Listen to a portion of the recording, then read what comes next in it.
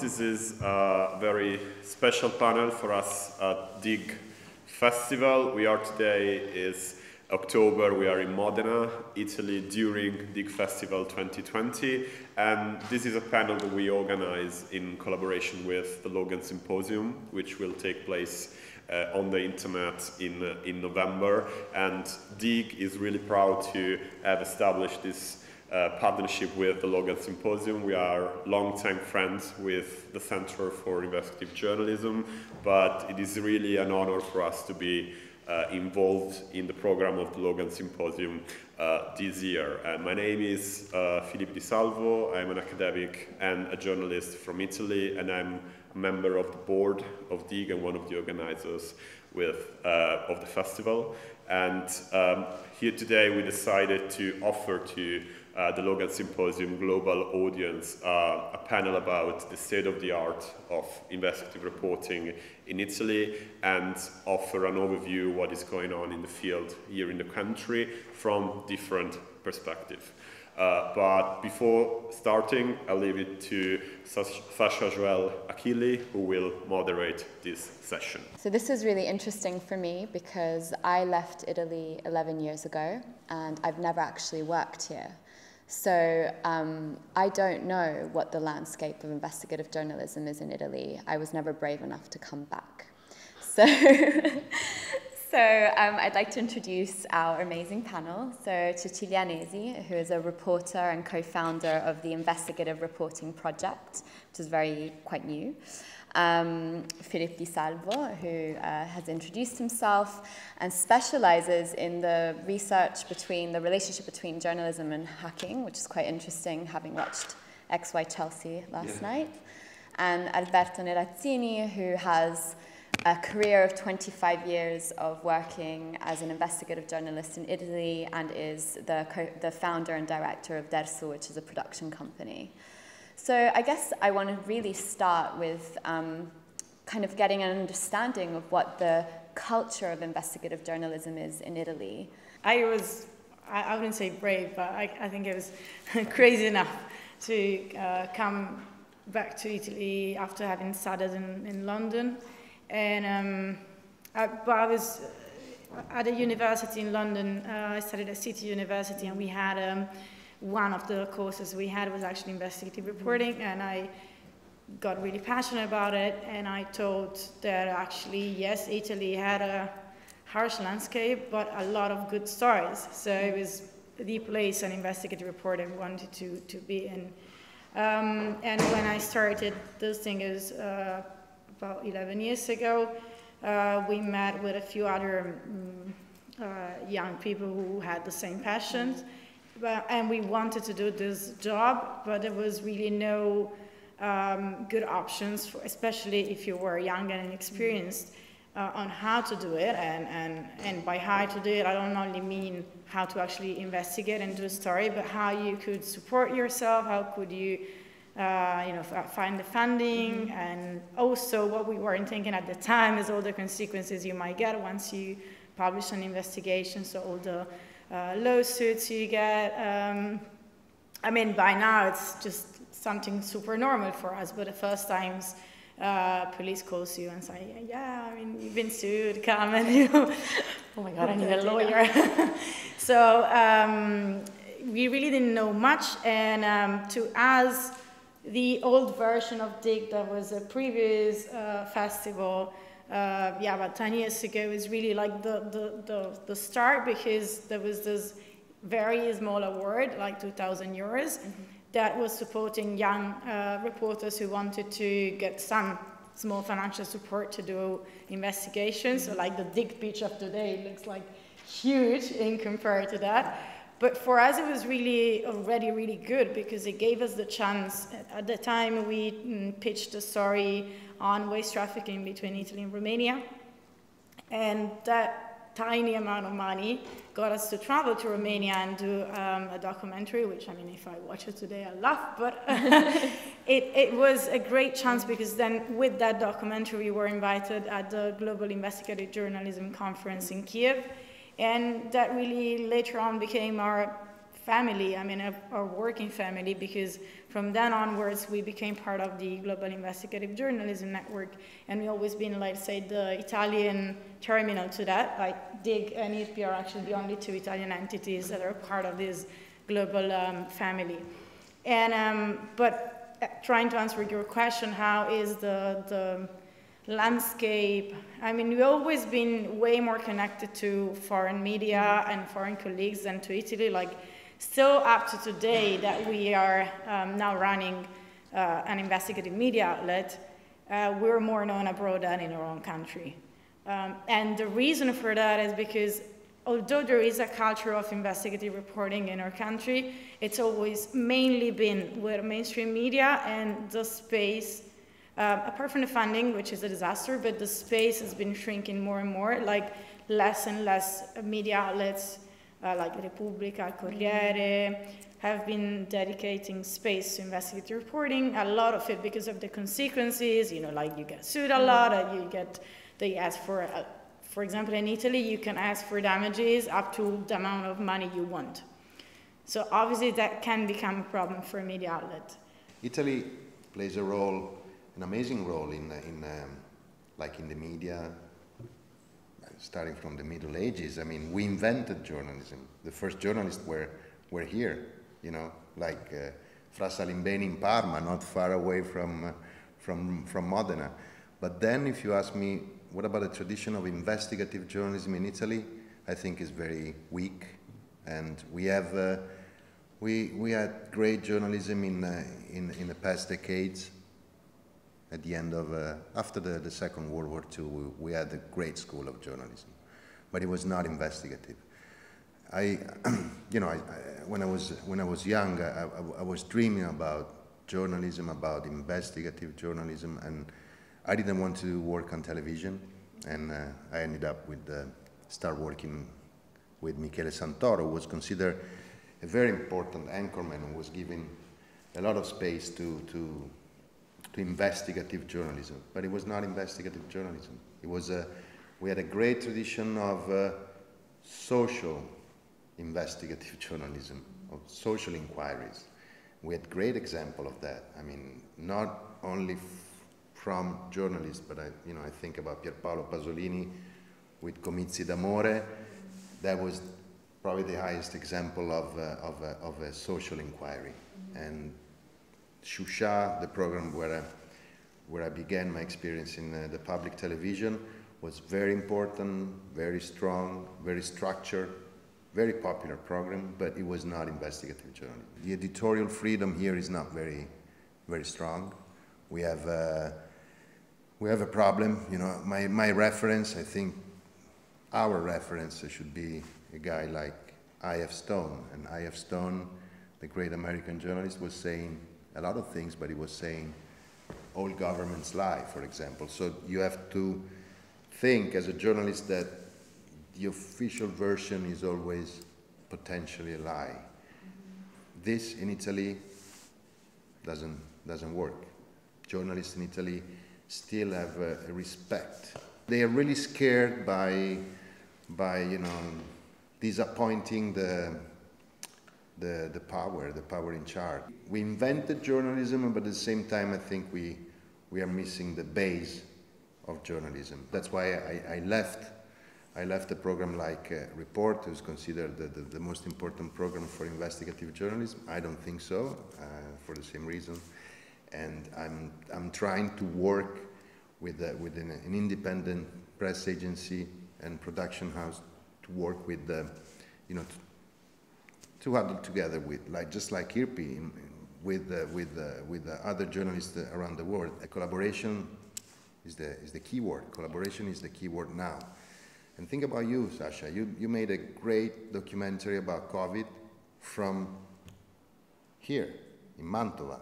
I mean, your film, Cremona, I'm sorry, your film was, was filmed here, and not as a journalist, but as an Italian citizen, I, I, I, I understood what was going on in Cremona thanks to your film, but you, your film was not produced here. That's another paradox that we, we were the, the, the, the front line of COVID.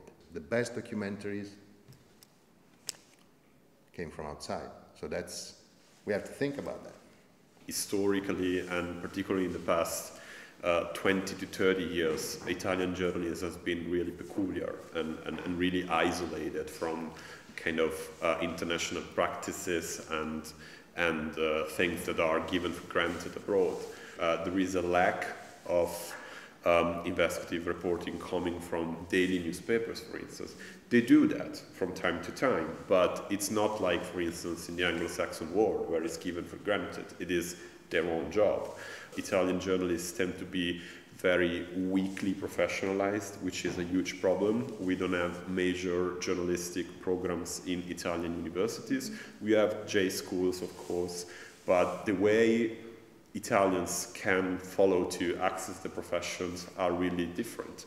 I mean, you can get access to journalism without getting any training at all, which is not a problem per se, but it gets a problem when you need to uh, kind of work into very specialized area. And I'll give you an example, for instance, data journalism, which is one of the most interesting forms of um, investigative reporting everywhere, and it's now an established reality for over a decade, I would say, since WikiLeaks in 2010 in the UK, in Germany, in France, uh, and in Scandinavia.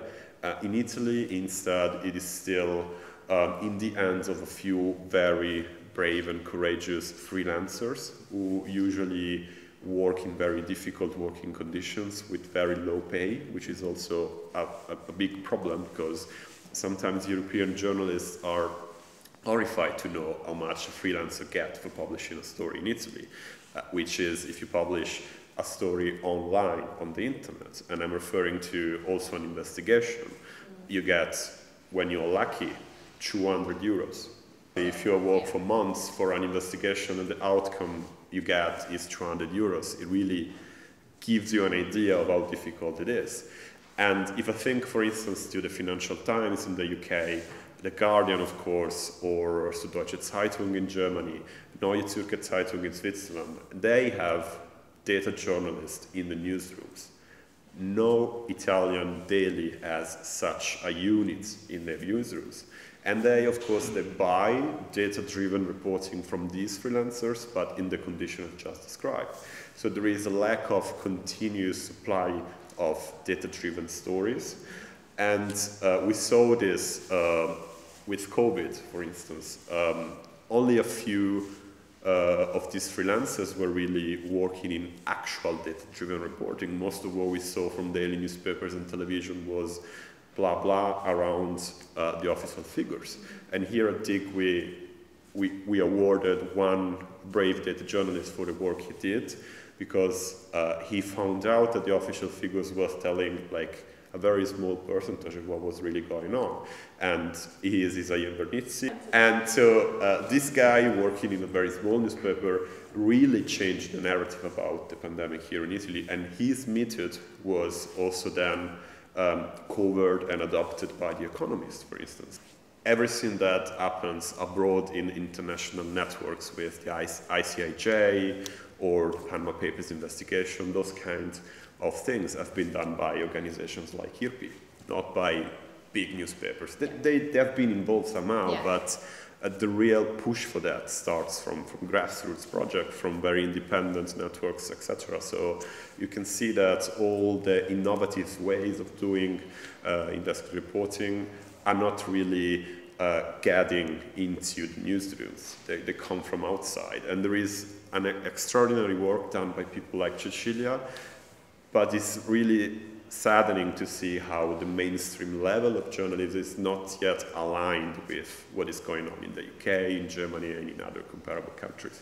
I don't remember honestly, uh, and maybe I'm wrong, but it doesn't come to my mind any data-driven investigation published by a major Italian daily. If I look, for instance, at my field of expertise, which is information security in journalism, there is nothing in Italy. There is a total lack of awareness into mainstream newsrooms, into public broadcasters. They have no idea about security. And there is no major Italian media that operates a whistleblowing platform. So if a whistleblower wants to approach Corriere della Sera, Repubblica, or whoever, he or she, they have to go to single journalist who maybe for his or her own initiatives um, launch a PGP public key or a whistleblowing platform. So it's always left to personal initiative of those few journalists who really are up to date and know what is going on around the world. It gives me the idea of why it's so important to have platforms such as IRPI. So can you tell me a bit more about, you know, you guys kind of uh, started working again during lockdown. What, what's your goal? In 2012, after the Kiev conference, uh, we, when we were there at Kiev conference, we figured out that uh, I think there were like four or five Italians. No Italian newsroom, like mainstream media, had sent somebody at the global conference, whereas all the rest of the people were sent there, like BBC, Al Jazeera, what have, what have you, New York Times. They were staff reporters, most of them. And then, of course, you had independent filmmakers and uh, I mean, the, the Hamburg conference that we've been together with Alberto in November last year, it was way more mixed also because it was closer in Europe, so you had a lot of different people coming over. But at the time in, in 2011 in Kiev, it was really like, okay, we're the only Italians and we're not even staff reporters. So we really felt like it was an empty space that needed some type of action. So we thought, okay, let's get together and do a Center for Investigative Reporting. Um, and after, but basically, in, the, in what were we? We were trying to win some type of funding, mainly like journalism fund or like what have you, like small grants that will allow you. Yeah, of course, because there is no grants whatsoever. I mean, the ones that I quoted, I think Dig is literally the only option here, uh, and it's for documentaries. So if you want to do an investigation that doesn't involve video, there is no options in Italy. So we were trying to win like the small grants from abroad and journalism fund that is a Brussels-based uh, fund. It was really like the only, I mean, our hope for a lot of years. Um, and then the idea is, okay, either we get commission, like initially we were doing a lot of fixing for foreign media, uh, taking them around, I don't know, Sicily, Calabria, whatever. And obviously our name will never be, we will not be autos, but this thing slowly, slowly brought us to good things, first knowledge on certain territories, certain stories, and then context. So maybe one day you're just a fixer, but the year later you're doing a project with that TV in Sweden or whatever. So we thought, why don't we try and have our own voice? And we organized for a year, we worked to actually open this media, which is, now gonna show you in a while, it's IRPI Media. And the idea is that we were going to have an online outlet. So it is a paper, like an online paper, but we only do investigations. We have news, um, mm, comment, comment pieces, and then here we also got uh, videos and podcasts. Uh, and then we got this thing is uh, Archivi Criminali, like criminal archives. We try and like investigate either cold cases or we try and get back in history. We do have an, a whistleblowing platform that was never used a lot by citizens, but we got some really good stories. Again, I don't know if it will work. We're not trying to compete with the big media industry because we can't. I mean, it's, it's just uh, um, not possible with the amount of funding we have, and especially with we're very few people. Uh, but the idea is actually to collaborate with them. So what we're trying to do is like, for example, during COVID, a few of our stories were um, uh, published together with one of the mainstream media of Italy. So, you know, the idea is that maybe slowly, slowly, we can bring this culture in this country. Well, so that that's another question: is do you feel like there, there mainstream media could have the appetite for it? Yeah, I think for a long time they thought that this is not selling and this is not sexy, but I think that actually people are tired of the current affairs, yeah. political bullshit. They, they want long reads, they want slow journalism, they want in depth. Yes, for sure, Italy has not managed to maintain the independence of, uh, of the system, of the media system, but at the same time, we have a huge, a huge space for, uh, for the investigation. We have huge stories too. That's another, that's another paradox. I mean, I started as a journalist, you know, working on, uh, on, the, on, on mafia. I mean, we have the, the, the, the, biggest mafia in the world. We have uh, also the sexiest mafia in the world. Everyone is, uh, is, you know, there's a lot, a big, huge narration about our, our, our terrible mafia. But very often it comes always from, uh, from abroad. Why? Why we don't have this other opportunity, this other offer? I think it's, uh, there's always a trick. Also, I mentioned before the, the program is very popular here in Italy. It's uh, Report. It's the most important program for the national, the national broadcaster. The trick is that they're not, they're freelancer actually. They're freelancer who sell their investigation, to the public television. We don't have teams, data journalists, teams inside newspapers. We don't. We probably are the only country in Europe. We don't have an investigative pool inside the public television. And that's the, the big story because investigative journalism, if you have to summarize, I mean, it's time, it's research, okay, risk, and in Italy, everyone can sue you. It's not like London. It's a bit different.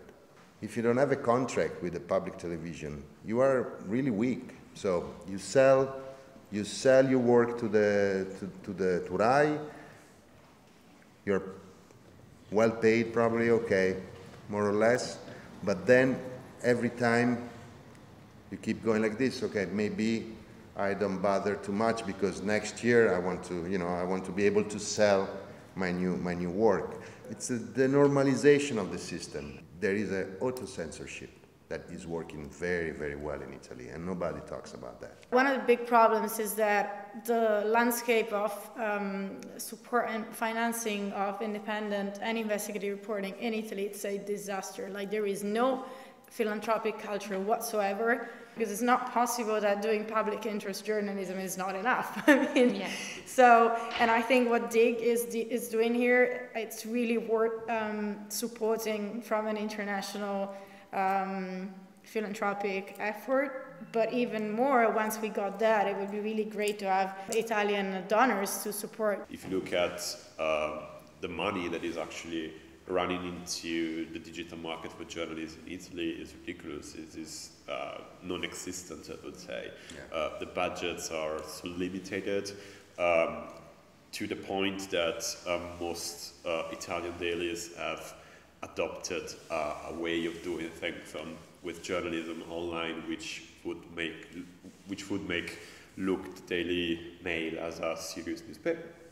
And uh, this is also uh, a traditional problem that Italian journalists always had. There is no clear distinction between hard news and soft news. If you go on the home page of any major Italian newspaper, you see a combination of things, which is uh, enormous quantity of political journalism, uh, economics, serious news, and then stuff that you would really find on the Daily Mail, gossip, it's real. We, we have lots of videos of animals and those kind of things, which is clickbait.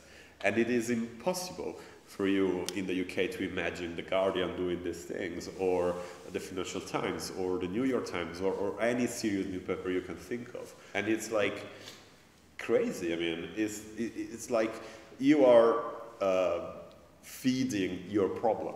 And the, there is no easy way out. And luckily, what we saw abroad with new business models for digital journalists is now slowly arriving here with five or six years of delay.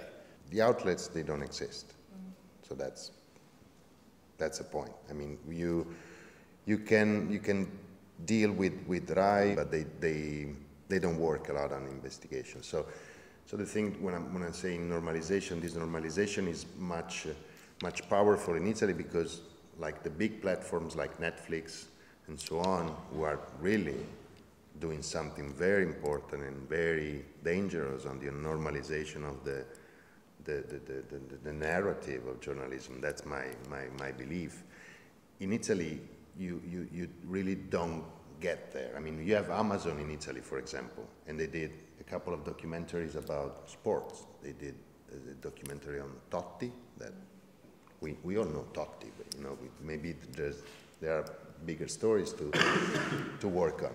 So it's, uh, I think, just because I don't want to finish in a, with this like big, big depression, I am really, I'm really, I really think there is, um, there is the possibility to sell your work and to, but you have to be together with some, uh, with some uh, foreigner producer. and you have to collaborate with some, somebody outside Italy. And that's, that's uh, interesting because the lack of, uh, of funding is, is, the, is the key point. I mean, in, in, in France, you have, uh, you have a CNC, the, the, the, fund of the national fund that works for the, for the cinema and works for the, even for, uh, for investigation, for TV investigation, you know, like France Television has access to the, to the national fund. And the national fund is uh, 10 times bigger than the Italian national fund. The National Fund in Italy is only for cinema. I did a lot of video, but I'm, the last project was a, was a podcast. And that's another. Big topic. I mean, but, you know, I did the podcast, and I love podcasts, but I did podcast because I had this concept and nobody wanted to, to produce it because it was, uh, and it's a history investigation. It's about the, the, the, the Piazza Fontana massacre, 1969 didn't happen yesterday, it happened 50 years ago. But everyone was saying, very good concept, very good project, but maybe can you take the investigation part away? Or, yes, I like it, but I don't have the money, it's too expensive. So my idea was uh, like a doc series. I worked for uh, seven months with uh, talking with different, different subjects, and at the end I said, okay, let, let's do a podcast. I think, yeah, we, we're about to close this, and I think a good way for doing that is that what we're trying to do with Dig is to yeah. bring the world of actual, real, courageous and brave investigative journalism into the Italian public because really I think there is a lack of awareness about the real thing and the mission of DIG has always been yeah. that and we're really happy and proud to the festival this year, and of course to be involved with uh, the Logan Symposium is again a very huge opportunity for us to be seen also outside, and um, there is lots of work to do. We can all agree on that, and we will play our part. I would say. So um, it was really a pleasure. Um, thank you. It was an education actually for me. Um, so thank you so much, and uh, enjoy your time at Dig.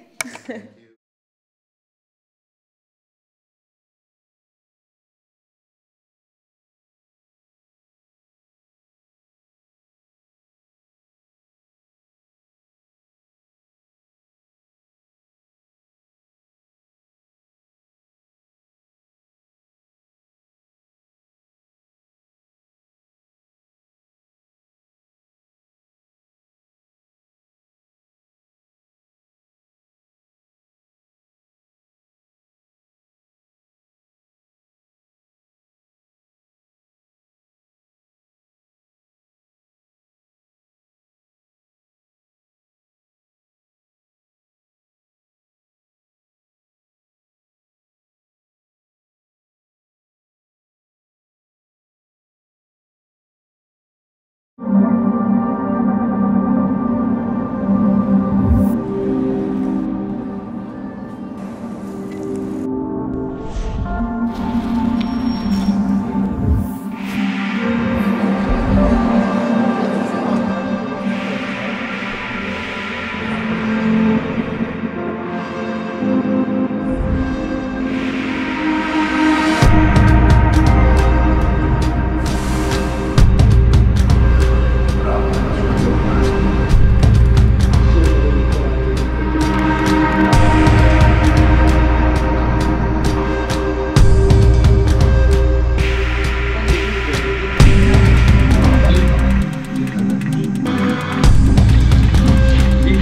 nu știm dacă toți ar fi trăit.